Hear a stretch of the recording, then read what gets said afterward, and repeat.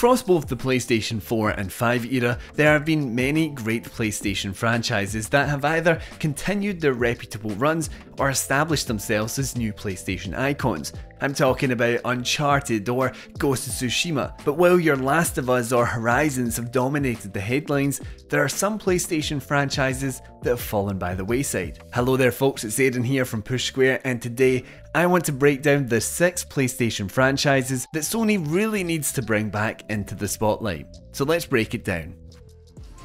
We all know that Gran Turismo is the serious racer of PlayStation, but sometimes you just want to let loose on the road and revel in the carnage. The MotorStorm series was exactly that, last showing up on the PlayStation 3 and Vita in 2012. This is a far more cutthroat version of your arcade racers, encouraging you to swipe, bash and utterly destroy your competition. And to be honest, it's exactly what PlayStation needs to fill that Forza Horizon hole in Sony's library. Generally speaking, this series has a very nice versatility to it, with one previous entry taking to the apocalyptic roads, so you could really mix up the tracks of a new installment. Not to mention, it could be glorious with those current gen graphics, super slick SSD loading times, and immersive haptics, which have proven themselves time and time again to be a fantastic feature for racing titles. Playing a game like this in 60 FPS or higher and watching another car crumble into pieces is the speedy dopamine fix I think we need on PS5 right now. Come on now, we all want it, we kind of expected it, but we're still waiting for more Infamous. This series actually did have a run-in with the later generations of PlayStation, with Infamous Second Son launching in the first year of the PS4, but we can all agree that a series like this deserves to make its return on the PS5. Second Son was actually a super impressive game technically, with fast-paced combat and gorgeous graphics. It could be taken even further with this generation, and I think the storytelling aspects could be far amplified too, given the higher standard of storytelling that we kind of expect in the format these days. Ghost of Tsushima devs Sucker Punch Production have been on this series, and while we seriously expect Ghost 2 to be their next game, it would be nice of them not to forget this super powered franchise. And with the games typically including a morality system that would influence the conclusion of the narrative in the previous games, you could cherry pick which ending to make canon and springboard off it into a continued story. Or just treat that as ancient history and move on to something new and electric. I don't care, I just want to wreak havoc with superpowers in some new city setting.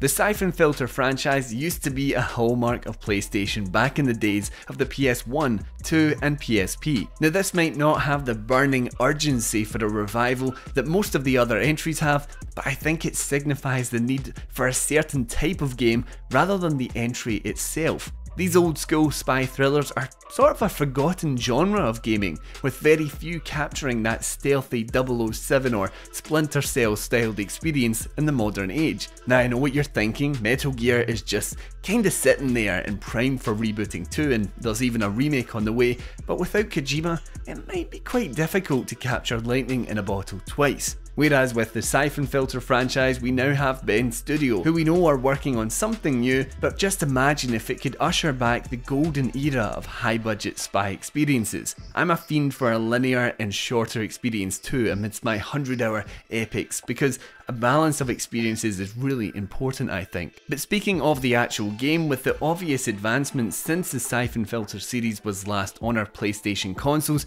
it would be great to see stellar combat and more importantly, a vast and open level design that leaves a massive stealthy sandbox for players to immerse themselves in. While we have a furry animal controlled platformer in Ratchet & Clank Rift Apart, it is a real shame to see a series like Sly Cooper be left in the dust of older generations. Last seen in the final year of the PS3, this is a stealthier series that is soaked in style with its noir and comic book inspirations. Taking this beloved art style and vamping it up for the PS5 not only would put a smile on the face of all of the original fans, but it would undoubtedly breathe life into a franchise with an influx of new players. This, oddly enough, is another series originally developed by Sucker Punch Productions, so it would likely be time to pass the torch on for a series like this to another studio. I don't know about you, but I think it's important to have more of these colourful and playful platformers on PlayStation. We've seen some great success with them in the form of Rift Apart or even the critically acclaimed Astro's Playroom, so it's clear that there's an audience for games like these. And with the once famous PlayStation icon, Sly and the gang really deserve another shot in the limelight. It genuinely boggles the mind as to how we've still not received a new Resistance game in over 10 years. Sony has been somewhat criticised the last couple of generations by intensely focusing its exclusive efforts on third person games, both linear and open world. That's why it would be refreshing for the Resistance series to make its long awaited return. I always felt like it was a franchise sort of held back due to its graphics, and the particularly muddy looking style of Resistance 3 on the PS3 definitely didn't help that. But with the PS5, not only would the first person shooting be far improved with tighter controls, haptics and adaptive triggers, and improved performance, the series could become the graphical powerhouse it was always meant to be and arguably what it needs to be for a world of this scale. It's a series that would greatly benefit from the lore filling details of its graphics, and that's really just to mention its single player aspirations. We've got an entire multiplayer aspect that we've barely touched on, but that's because I kinda want to save that for our final entry. But just as an added note, I do think that the original developer, Insomniac Games, would need to pass on this one since it has both the upcoming Spider-Man 2 and Wolverine. The Killzone series has to be the biggest missing mark in the entire modern PlayStation lineup. Sure, Killzone Shadowfall, it wasn't quite what everyone was looking for, but I feel like Sony has a serious opportunity here to bring this series back from the dead with a big, boisterous sci-fi epic. We already got a tease of what a graphically glitzier game would look like with their PS4 efforts, but can you just imagine how it would look on PS5? A lot of those lore filling benefits I was talking about with Resistance would apply here too. Now it seems as if Guerrilla Games are on horizon duty for the foreseeable future, so this would be yet another one that another studio would need to tackle. But I really do think that it would be worth it because many fans of the series really love it for one thing its multiplayer. We've recently heard a lot of talk from Sony as it tries to expand its efforts into live service games, and really, I can't think of a better franchise to apply that to. Just imagine if Sony went all out with a big AAA FPS game, which if done right could easily become the Halo of PlayStation, but even better.